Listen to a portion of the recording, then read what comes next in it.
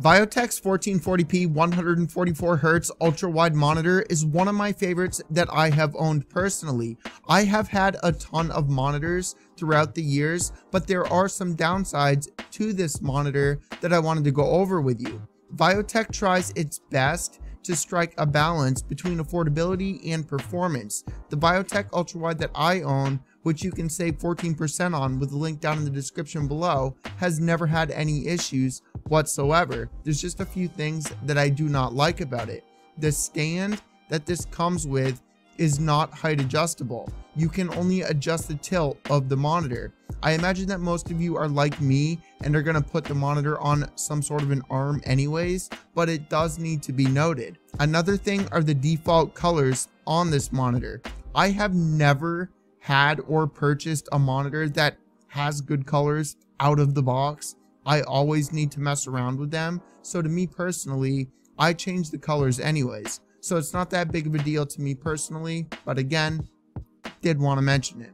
The third and final thing is the PIP mode or picture in picture mode, where you can have two inputs on one screen. It lacks a lot of adjustability. There are other monitors out there where you can adjust the transparency to be able to actually see the main input, as well as adjust the resolution for the input that you're putting over your main display. On this monitor, you can only add another input, adjust its location, and choose from small, medium, or large, which are pretty much the exact same thing on the screen. It would be nice if you could actually adjust that resolution manually or through NVIDIA's control panel so that it doesn't take up such a large portion of the screen, but you cannot do that. And now for everything that I really enjoy about this monitor. It offers everything that you expect from an ultra wide monitor. It performs great for gaming. The response time on this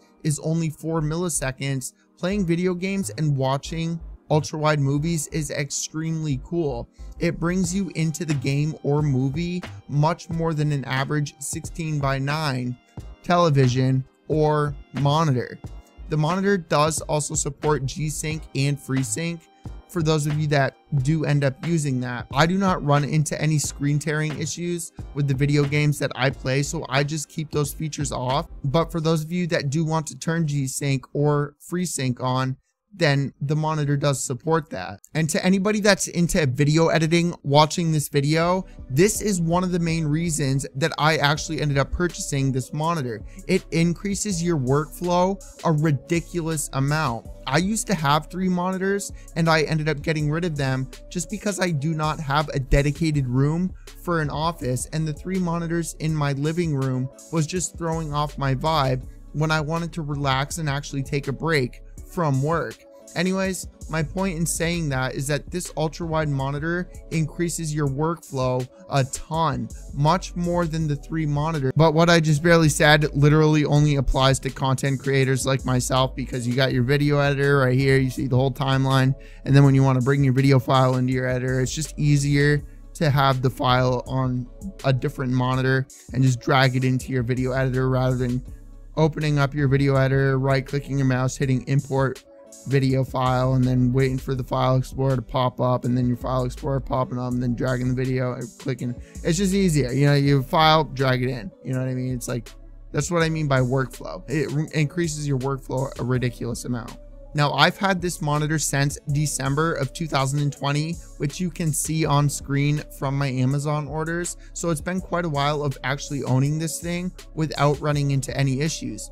I do not have anything like dead pixels. The inputs are still fine, which I mentioned because I do move my setup around all of the time. So unplugging and plugging in HDMI and display ports back into the monitor nonstop is something that I've run into an issue with as far as Samsung monitors go in the past, but I have not had any issues with Viotek, so I did want to mention that. It really is a game changer going from 1080p to 1440p and even 4K when you're up close to the actual screen. It's not that noticeable when you're sitting on a couch watching a television but when you're a foot away from the monitor all day long, there is a very noticeable difference between all of those resolutions. Anyways, I have a lot of stuff that I have yet to review. I'm just trying to get more tech stuff up on the channel and why I wanted to review this monitor since I really do like it and I have owned it for a very long time. And again, my affiliate link will be down in the description. I do earn a commission at no extra cost to you, so it allows me to keep on doing stuff and buying new stuff in order to actually make videos on stuff. Did I just say stuff enough?